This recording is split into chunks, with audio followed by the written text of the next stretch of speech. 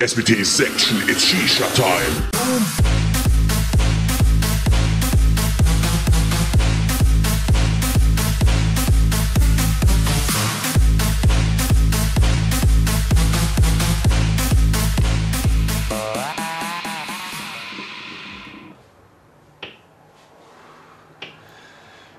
Servus, liebe Shisha-Freunde, Shisha-Mann-Tester, Shisha-Oli und meine Wenigkeit Big 2 b begrüßen euch zu einem neuen Tabak-Review. Ja, Freunde, es gibt einen äh, neuen Tabak auf dem Markt, gesehen zum ersten Mal auf der Shisha-Messe in Frankfurt.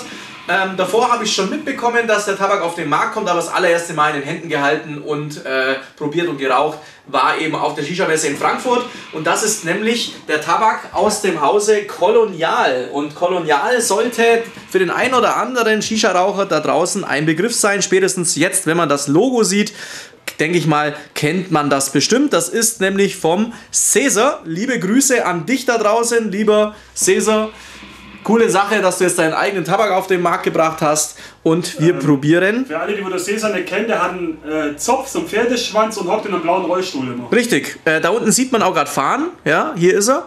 Rolling Blue heißt nämlich die Sorte und ähm, der raucht quasi äh, in einem Rollstuhl und raucht nebenbei und das ist äh, ja so ein kleiner Running Gag, was der Cäsar damals ins Leben gerufen hat. Wenn man den immer im WhatsApp zum Beispiel oder in Facebook schreibt, kriegt man automatisch immer ungefähr gefühlte 100 Rollstühle zugeschickt ähm, und danach kommt dann erst die normale Antwort Oder wenn die. Mitarbeiter was runterwerfen, der Bowl oder so, dann hocken die danach auch im Rollstuhl. Richtig. Und äh, das ist wie gesagt so ein Running Gag von ihm und jetzt hat er eben das Ganze auch noch als Tabak draußen und das ist eine von wie viele Sorten hat er? Sechs, oder? Hier steht vier. Vier, dann sind es fünf Sorten aktuell, die ich jetzt äh, zum Testen zu Hause habe. Und ja, Rolling Blue, Olli, was soll das denn sein? Ja, das soll eine Mischung sein zwischen Blaubeere, Limette, Kiwi und leichter Minznote. Genau. Genau. Das haben wir direkt äh, vom Basri äh, mitgeteilt bekommen. Ich hoffe, dass er auch nichts vergessen hat oder uns einen Blödsinn erzählt hat. Warum Basri? Ist ja nicht der Cäsar. Ähm, das ist nämlich der Hersteller von dem Tabak. Denn ähm, das Ganze, genau, Olli hält es gerade in die Kamera, das ist ähm, ja, Smokies Tobacco. Also das heißt, der Rohtabak und die Aromen stammen aus dem Hause Smokies und ähm, findet man auch über dem Koloniallogo steht nochmal drauf Smokies Blend und äh, ja, daher kommt das Ganze. Ich habe ganz vergessen, den Schnitt noch zu zeigen. Das mache ich jetzt gerade mal. Das Ganze kommt in einen vakuumierten Beutel, kann man aber in diese schöne rote Plastikdose reingeben und der Schnitt ist ähm, ein mittelfeiner Schnitt. Also nichts wirklich Grobes mit dabei, keine groben Äste. Man hat zwar Äste mit drin, aber die sind nicht stören, weil sie klein geschnitten sind. Und man hat einen hellbräunlichen Schnitt am Start. Ähm, für alle, das fällt mir jetzt gerade noch ein, die äh, damals, wo der Tabak rausgekommen äh, ist, nicht den Werbespot gesehen haben, sollten sich den auf jeden Fall mal noch angucken. Ich finde den sehr amüsant. Kommt jetzt gerade oben eingeblendet überm Olli, da könnt ihr das mal euch anschauen. Also den Werbespot, der geht nicht mal eine Minute, sehr, sehr witzig gemacht. Ähm, fand ich cool damals, als der rausgekommen ist. Und ja, jetzt probieren wir das Ganze doch einfach mal. Wie schaut es geruchlich aus? Blaubeere, Vollgas, aber nicht nur. Also man riecht auf jeden Fall raus, dass es Blaubeere ist, aber man riecht auch raus, dass es nicht nur Blaubeere ist. Aber ich rieche jetzt da keine Limette und keine Minze raus. Und wenn ich weiß, dass Kiwi drin ist, würde ich sagen, okay, dann ist das andere, was man da noch mit rausriecht, die Kiwi-Note. Aber jetzt speziell rausriechen tue ich nur die Blaubeere und eben noch was anderes, was eben dann die Kiwi sein soll. Also, das Lustige ist, beim Namen alleine habe ich auch gleich sofort gesagt, da ist hundertprozentig Blaubeere drin, weil Blue, Ja, da denkt man sofort an Blaubeere. richtig. Also ich finde schon, dass eine leichte Limette-Note drin ist, weil die Blaubeere sehr erfrischend rüberkommt. Aber die Kiwi-Note, im Prinzip, wie du sagst, nur wenn man es weiß, weil es sehr schwer rauszuschmecken, eine Kiwi. Aber Minze, wenn man reinbläst wieder, dann merkt man es wieder in den Augen. Aber riechen tut man es im Prinzip null. Ja, Aber riecht auf jeden Fall trotzdem sehr, sehr interessant, weil ich und Blaubeere, also gerade was Alvaha, Blue, Mint oder Blue beide. angeht, geht gar nicht. ja, ich könnte schon speiern, wenn ich bloß noch dran rieche. Tot geraucht damals, vier, fünf Dosen, glaube ich, in einer gefühlten Woche und äh, geht nichts mehr. Seitdem können wir keine Blaubeere jetzt mehr in der Aber das riecht sehr, sehr, sehr geil. Also Ja. ich finde den Geruch geil. Ja, definitiv. Also Geruch ist sehr ansprechend. Geht definitiv klar. Und äh, geschmacklich schauen wir uns das Ganze jetzt mal kurz an. Wir haben das Ganze gebaut in der TGK 3.0 mit ähm, einer Mataleon äh, Molassefänger, Glasmolassefänger, genau, von Mataleon. Und äh, das Ganze haben wir natürlich wieder in unserem heißgeliebten SWT-Setup am Start, sprich Safir Squeeze Number 9, dreiviertel voll.